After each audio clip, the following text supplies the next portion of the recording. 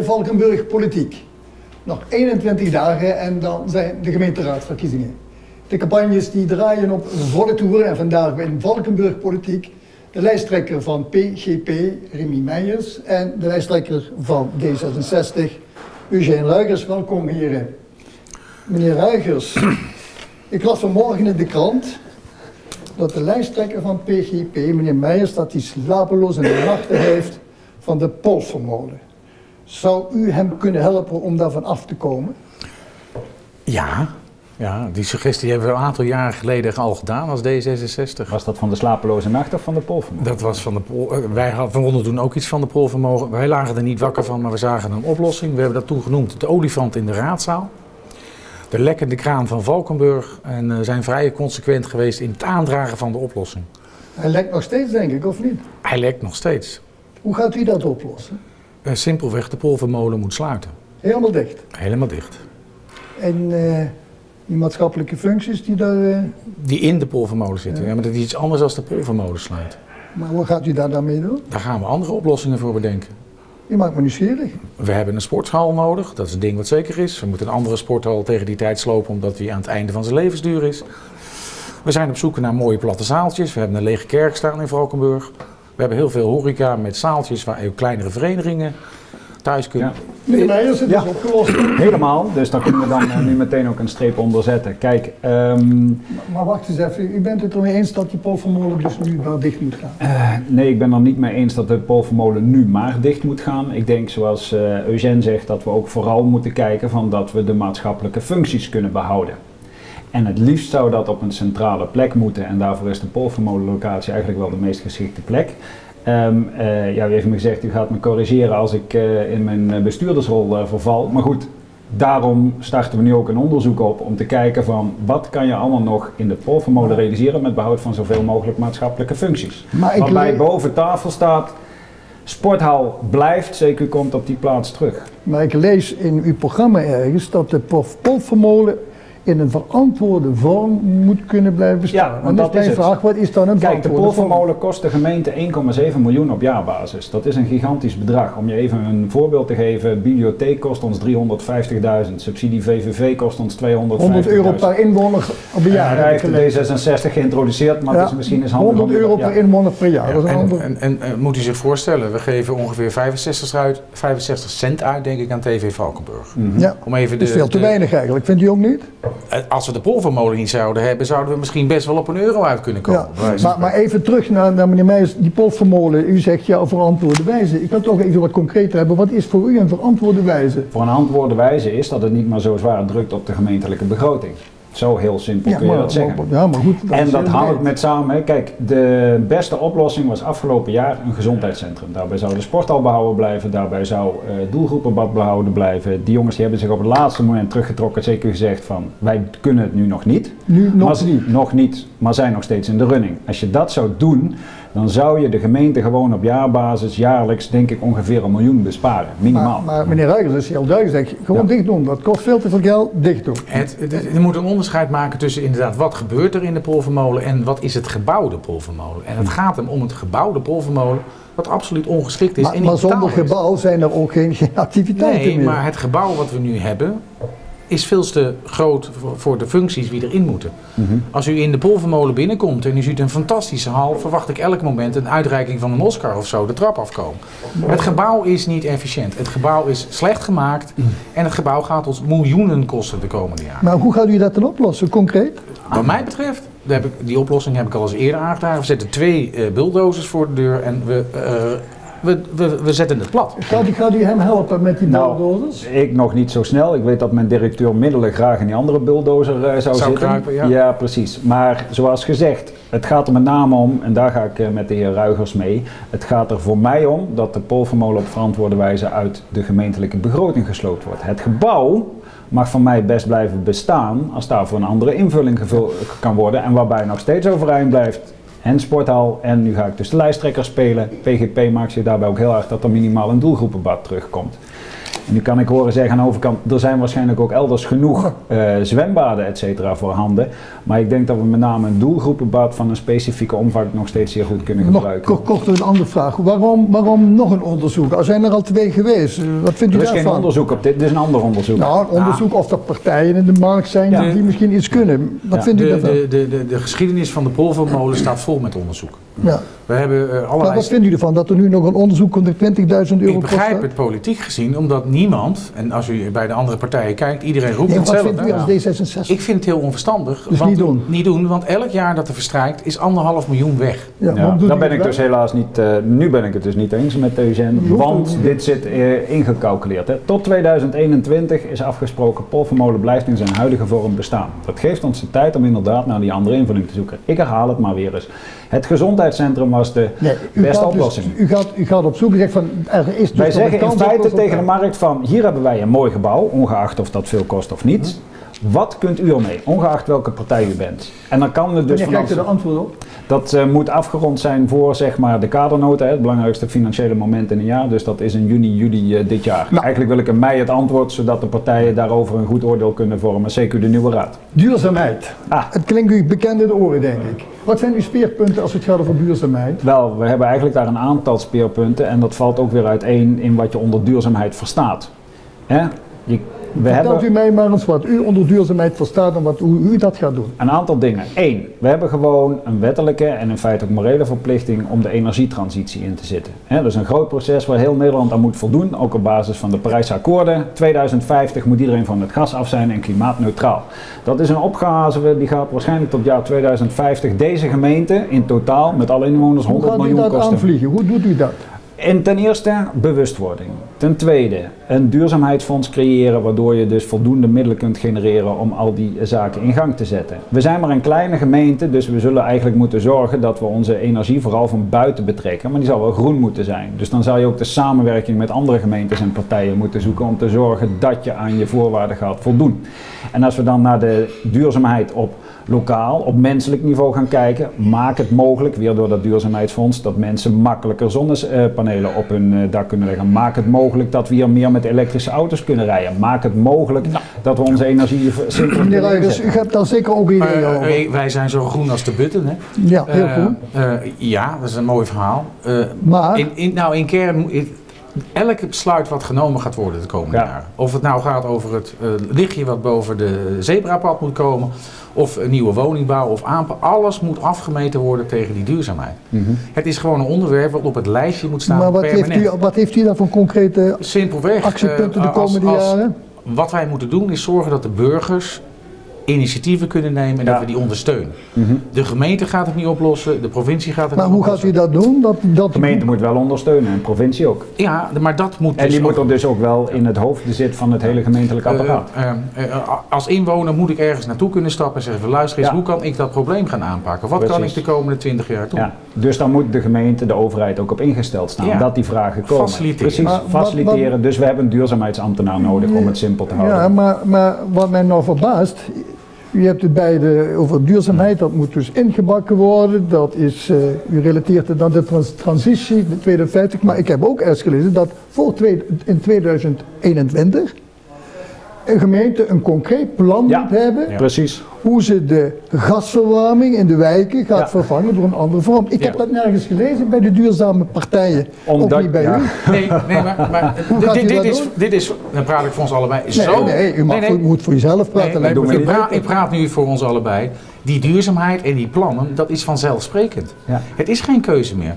Eh, wat mij het meest verbaast, dat onze uh, seniorenpartij niet op nummer 1 heeft staan. Ja, maar hoe gaat u dat dan doen? Hoe, u, er moet een plan komen in 2021. Ik kan me voorstellen, ik zeg, en dan gaan we zo en zo gaan wat, we dat wat, dus Wat wij zouden kunnen doen en wat we als gemeente kunnen doen, is beslissen dat alle gemeentelijke gebouwen worden voorzien van maximale uh, zonneopbrengst. Dus hebben we reeds onderzoek naar gedaan, dus we weten waar dat gelegd kan worden. Daarvoor gaat de subsidie bij de provincie nu lopen. Dat komt het uh, komende jaar wordt dat in gang gezet. Wat ik daarbij wel leuk vind, worden dus zonnepanelen bovenop het gemeentelijk, uh, uh, boven het stadhuis geplaatst. Stadhuis. En maar die zonne-energie die we daar opvangen, daarvan worden onze elektrische auto's voorzien die reeds voor de deur staan. Wat ik leuk vind, u hebt het over een duurzaamheidsfonds. Maar je had het over uh, dat plan. Even naar een duurzaamheidsfonds toe, want we hebben niet zoveel tijd voor dit onderwerp. Dat is jammer. Hoe gaat u dat financieren? Want u zegt zelf, de gemeente moet daar zo ook mee aan zorgen. Ja, Waar komt dat ja, geld vandaan? Precies. Dat betekent dus in A investeren. En er komen natuurlijk allerlei eh, rijksstromen op gang. Want dit is een opdracht En de gemeente zelf? Keuzes maken? Keuzes Het is maken. dus keuzes maken. Kijk, waar, dat, maakt u dat- dan, waar maakt u die keuzes dan? Waar legt u dan die prioriteit? Wat doen we dan niet? Eh, nou, A, oh, dit, dit is misschien een ander onderwerp. Maar de gemeente Valkenburg heeft voldoende in kas om te investeren. Uit de reserves Uit dus. de reserves. Wat vindt u daarvan? Technisch gezien hebben wij voldoende in kas, ja. Dus we gaan het, u zegt ook uit de reserves dan maar aan. Nou, liever niet, want daarmee worden onze voorzieningen natuurlijk afgedekt. Die liggen allemaal vast. Dus moet je zorgen dat je het op andere manieren krijgt. D66 heeft het antwoord simpel, zo snel mogelijk Polvermolen dicht. Maar je zal dus in, eh, in ieder geval moeten zorgen dat inderdaad, zoals u zegt meneer Martens, als je dit wilt doen, dan moet je iets anders laten. Feite Leefbaarheid, zou dat een totale- optie zijn om daar eh, iets, iets te gaan doen? Maar- Oh, maar, Nee, we gaan nu even naar de leefbaarheid. Neem maar één voorbeeld, want dat, dat- Dan heel kort, wij- heel goed, kort, we hebben de heel stad kort. Valkenburg, we hebben de kernen eromheen en dat is ineens heel buiten hè, met, met poeplucht, zou ik maar zeggen. Maar we zouden als gemeente kunnen zeggen, joh, die paar eh, eh, eh, landbouwers die we hebben, zouden die een vergistingsinstallatie kunnen neerzetten en daar Nou, bijvoorbeeld... concreet idee. Precies. We nemen het mee. Precies. D66 zegt van, u, wij vinden dat we moeten stimuleren de verenigingen. Ja. We moeten vooral zorgen voor het behoud en de uitbreiding van hun activiteiten. Ja. Nou is mijn vraag, hoe, hoe gaat u dat concreet handen en voeten geven? Eh, ik weet niet. anders. ja, nou, nee, nee, nee. Dit, ik vind het. Dit, Het is ik vind wel de het- strekking het is van de het strekking verhaal. van het verhaal.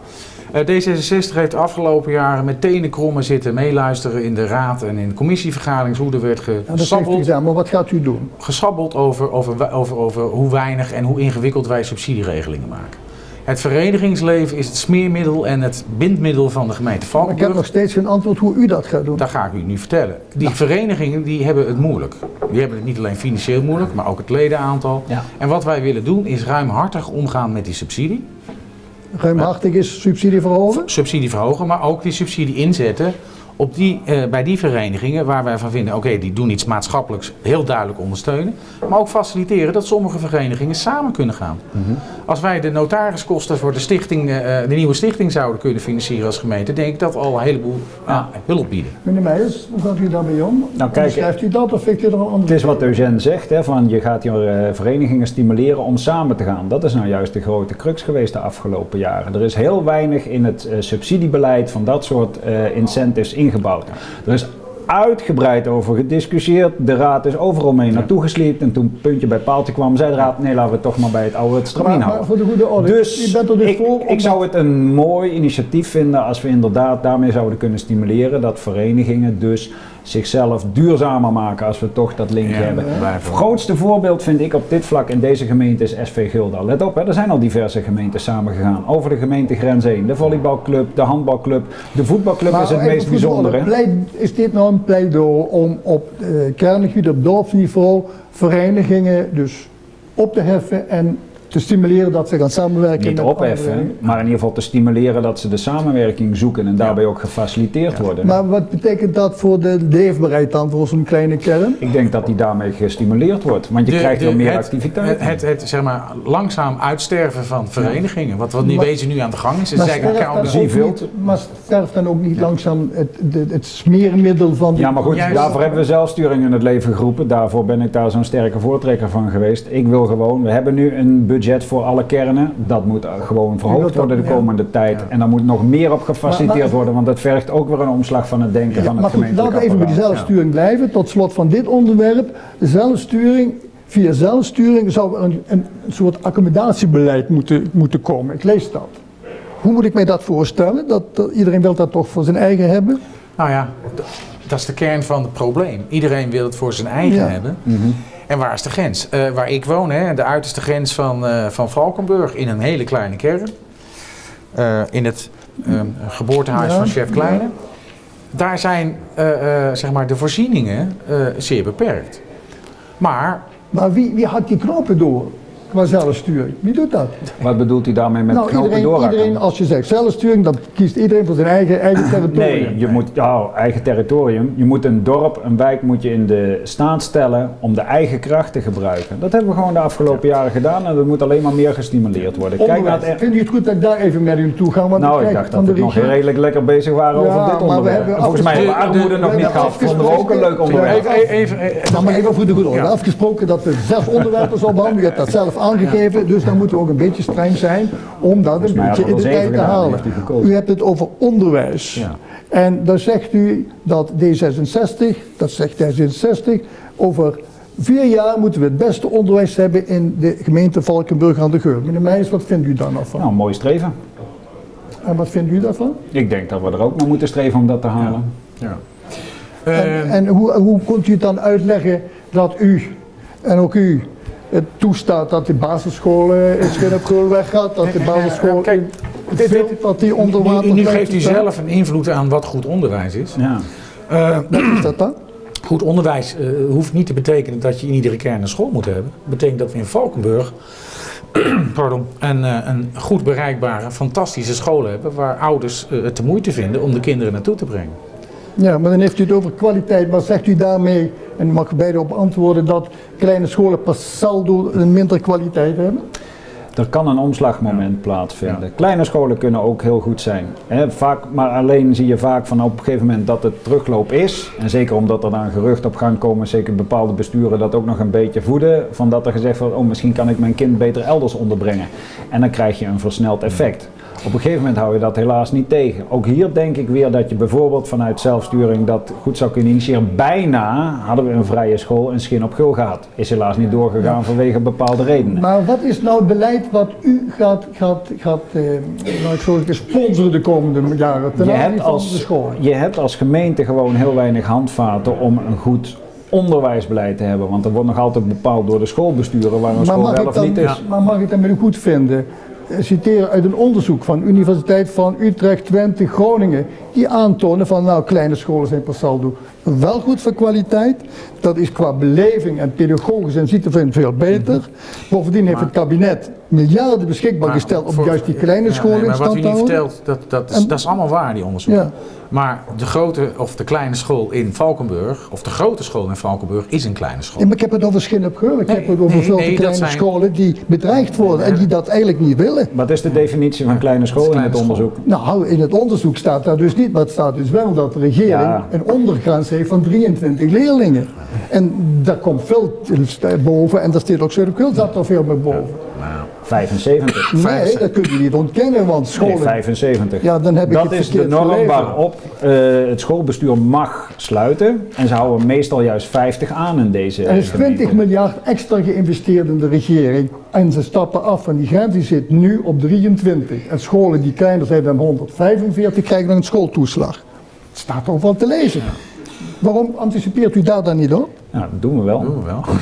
Iedere wetgeving moet je op anticiperen. Ja, Toch even naar de goede school, want dat punt wil ik toch wel even maken. dacht ik wel. We hebben hier in eh, Valkenburg nu een nieuwe school gebouwd. Als D66 hebben we er heel erg op aangedrongen en ook eh, met een half succesje eh, extra geld aan toegevoegd gekregen om dat gebouw goed Ja. te krijgen. Dat is ook een onderdeel Maar van een goede school. de vraag waarom staat u toe dat de basisscholen in de kleine kernen, dat u daar dus, als u laat dat maar gebeuren. Omdat wij daar geen zeggenschap over hebben. Zo heel simpel. Kijk, de. Nee, wij kunnen die keus niet maken. Dat is nou juist het vervelende. Wij kunnen niet zeggen je moet de school open houden. Wij kunnen niet zeggen van we geven je De 11. besturen zijn machtig. De besturen zijn machtig. Nou. Ja, wij kunnen lobbyen, maar daar houdt het ook bij op. wat als gemeente, waar, we invloed hebben op gemeenten is Ja. met name die huisvestingscomponent. Wij gaan naar de gemeente. Ja. U hebt zelf heel, heel duidelijk neergezet als D66 dat u vindt dat de gemeente Valkburg te klein is voor de toekomst. U opteert voor een Heuveland, Maastricht, groot regionaal verband. Nee, nee, met een regiefunctie. Nee, voor Valkenburg. Maastricht is een verkeerd woord in dit Dat geval. Goed, dan legt u dat even toe. Eh, wij wij, wij, wij, eh, zouden het heel fijn vinden als we een Heuveland gemeente zouden krijgen. Een driehoek van Nut tot Vaals en IJsden. Eh, de mooie, het mooie groene gedeelte. Eh, daar wonen 120.000 mensen. Dat is een bepaalde gemeenschappelijke identiteit. Daar zit het toerisme in, daar zit de landbouw in. Eh, dat zou een goede gemeente zijn, ook in tegenwicht tegen die stedelijke gebieden. Ja. Is Valkenburg te klein? Nou goed, Valkenburg is net zoiets als TV Valkenburg. Eh, hoe groter, hoe meer... eh, eh, eh, Maar hoe- u zegt ja. dat u vindt ze te klein op dit moment om Het goed te kunnen wat, wat we nu horen is, we moeten samenwerken, we moeten dit, we hebben de expertise niet, we moeten inhuren. We moeten naar een andere vorm van besturen krijgen. Daar wil ik waarbij- in meegaan. Ja, waar- De andere vorm van bestuur. Kijk, een gemeente als Valkenburg, en dat geldt voor alle kleinere gemeentes, krijgt opgaven voor zijn kiezen vanuit de Rijksoverheid, wat doorgestuurd wordt, waardoor je dat niet meer in je eentje gaat. Het sociale zaak is natuurlijk het meest prangende voorbeeld, want we hebben gewoon de hele sociale dienst bij Maastricht ondergebracht. Ik denk dat je nog steeds wel moet inzetten op die couleur lokaal. De gemeente zelf moet niet heilig zijn. Je moet voor die, onder, eh, die bestuursvorm kiezen die het beste is voor je inwoners. Er wordt nu heel vaak gezegd van, maar we werken toch steeds meer samen. Hè, in plaats van de- eh, serieus te kijken van hoe kunnen we ons anders organiseren. Maar we verliezen daarmee ook eh, de democratisch gehalte. Ja, maar dat is juist een tegenstelling. Hoe groter de, de, de gemeentes worden, Het gaat nu op dit moment, democratische nu vanwege de samenwerkingsverbanden verliezen de raden hun controle. Ja. Ja, Ja. maar en kunnen wethouders kunnen dus dan opeens beslissen. Hoe gaat u dat dan veranderen? Je moet naar een andere vorm van bestuur misschien op termijn denken. Kijk, ik denk dat de gemeente Valkenburg nog genoeg bestaansrecht heeft om hier nog wel 10, 15 jaar te kunnen fungeren. Want Valkenburg is een zeer krachtige gemeente. Dus we zijn vrij bijzonder. voor- Voorlopig hoeft dat dus voor Het hoeft niet, want het loopt voor de rest goed. Nee. Alleen je ziet tegen wat voor een problemen je op termijn kunt aanlopen. En dat moet je goed regelen. Je moet zorgen D66 dat je een goede organisatie voor je kinderen D66 achterlaat. ziet, D66 ziet het werkelijk als een bedreiging voor de inwoners van Valkenburg. Je hebt het ook over de kwaliteit van de dienstverlening. Ja, maar, maar ook kijken naar de toekomst. Als we er nu al niet aan gaan werken, dan hebben we een probleem. Je zult je Op dit, moment is het, ja, op dit moment is het een beetje de sfeer. We, we gaan de subsidies aan de schutterijen verhogen en dan stellen we ze op aan de gemeentegrens. Hè? Want we willen vooral niet. Ja, dat is toch een beetje. En daar moeten we vanaf. We moeten juist open kijken en kijken van hoe kunnen we het straks nou wel goed georganiseerd hebben met z'n allen. Mhm. Wat, gaat u, wat gaat nu de komende jaren voor uw concrete beleid zijn ten aanzien van samenwerking, eventueel fuseren? In ieder geval de samenwerking. Kijk, die zal nog steeds geïntensiveerd moeten worden. En daarbij zou je nog steeds die krachten van Valkenburg naar voren moeten brengen die eh, voor ons van belang zijn. Ik had daar juist grappig genoeg wel met een grote bank vorige week een discussie over. Die zei van je kunt het beste misschien ons model nemen van opschaling, alleen nog steeds die loka loka- couleur lokaal. Want als je, stel dat je Valkenburg zou uitleveren, uitleveren aan Maastricht, dan verdwijnt hier het toeristisch product waarschijnlijk binnen Ja. de kortste keren. Terwijl de provincie weet van wat voor een grote waarde dat heeft voor de werkgelegenheid hier. Ja, maar ik lees ook overal dat u kiest voor een regiefunctie. Dat is toch een vorm Ja. van dominantie, waardoor samenwerking wel onder druk komt te staan. Of zie ik dat verkeerd? Een, verkeerde invulling van het begrip eh, regie, denk ik. Op Heel- dit Als, eh, als, je, als, je, als je ziet binnen Valkenburg dat wij lokale partijen hebben die heel duidelijk de kernen centraal zetten ten opzichte van het centrum. Dat is eigenlijk al een splitsing die begint zodra je de, zodra je de vallei uitgaat. Mhm, en Zodra zo- je de Kouberg op Zo waar je de Kouwberg op gaat. En dat zetten wij door ook naar de andere gemeentes. En daar moeten we vanaf. We moeten samen met die gemeentes kijken van hoe kunnen we het best Ik ga We organiseren. moeten samen op pad voor Samen een duurzame pad. toekomst. U zou ook samen op pad kunnen gaan, want u bent het meestal eens met elkaar over de evenementen. En dan ga ik u vertellen dat evenementen, dat heb ik ergens gelezen, zijn de, leven, is, zijn de levensader van het toerisme Mhm. en kan niet zonder overlast voor de bewoners. Bent u het dan? Waar heeft u dat gelezen? Ik heb dat gelezen. Oké. Ik vraag u of u daarmee eens bent. Ik denk dat er bij grote evenementen vrij snel overlast zal zijn. Zullen we dat moeten accepteren? Nou, we zullen dat in ieder geval eh, moeten anticiperen dat dat kan gebeuren, maar dat moet je tot een minimum beperken. Als de lusten vervolgens groter zijn, dan is het fijn. Maar als die balans zoek is, ja, dan moet je daar een oplossing mee Eh, U hebt het over een pretpark. Ik heb het over een pretpark, ja. En waarom zeggen wij deze Valkenburg is meer dan een pretpark? Om, omdat het eh, op de, la- nou, als je kijkt naar de ontwikkeling de afgelopen jaar, hebben heel veel inwoners dat gevoel. Ik woon in een pretpark. En het is natuurlijk de balans zoeken. Ja. En inderdaad, grote evenementen geven overlast. Aan de andere kant, als er bij mij in de straat een barbecue wordt ge- georganiseerd en de straat wordt afgezet, is dat ook overlast. Maar niemand ervaart dat zo. waar, waar, gaat u de grenzen dan leggen? Nou ja, precies. Waarschijnlijk op die limietstraat dan.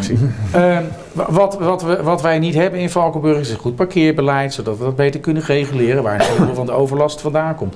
Communicatie, mensen, wat gaat er allemaal gebeuren? Ja. En het inzicht geven aan de burger van Valkenburg, oké, dit is wat wij met z'n allen investeren, gemeente geld, Ja. eh, eh, bewoners accepteren overlast. Wat levert, met de het, heer Ruigers eens op dit wat punt. levert het op? Ja, maar dan ga ik toch even wat vaststellen. U bent het eigenlijk helemaal eens met elkaar. Helemaal niet, maar we kunnen helemaal, geloven. Het is heel moeilijk om dat duidelijk te verschillen. Waarom gaat u niet op één lijn staan? Ik had Dat was best u gewild. toch ook gedaan? Ja. U had best gewild, waarom gaat het dan niet lukken? Ja, in de, buur, in de buurgemeente gebeurt het ook. Wilt u dus niet? Diverse buurgemeentes, U wilt dat dus niet? Ja. Nee, we hebben er bewust voor gekozen om het niet te doen. Niet te doen. Kunt u zich voorstellen dat u tot een lijstverbinding gaat komen? Nou, dat is nu een beetje laat. Dat gaat, dat gaat nu niet meer Gaat lukken. dus nu niet meer dat gaat- gebeuren. nee, dat Ja. kan ook niet. Dat kan, eh, dus u gaat eigenlijk dezelfde territorium gaat u samen met elkaar. Ja, Ik denk dat er zeker grote overlappingen Ja. zijn. En na de verkiezingen krijg je natuurlijk een hele. Krijg je een, ja, dan ga je natuurlijk elkaar opzoeken van hoe kunnen we het beste bereiken wat iedereen wil. Ja, Even nog een want andere gaat vraag. Werkt u, werkt u wel of niet met voorkeurstemmen op uw lijst? U als PGP, dat kan. De lijst wordt gevolgd. De lijst wordt gevolgd. Ja. Dus als, als nummer 2 minder Ten- stemmen heeft als, als nummer 3, komt toch nummer 2. Toch nummer 2. De lijst wordt gevolgd. Ik zou u ook willen vragen, maar de regisseur zegt dat we aan het einde van onze uitvoer, eh, uitzending zijn. En ik dank u heel hartelijk. Ik wens u veel succes en u, dames en heren, heel hartelijk dank voor het kijken. Volgende week zijn we er weer. En dan zit hier aan de tafel de lijsttrekker van de Seniorenpartij, Sjaf Kleine, en de lijsttrekker van Algemeen Belang, Niels Douwe. Ik dank u. Tot de volgende week. Dag.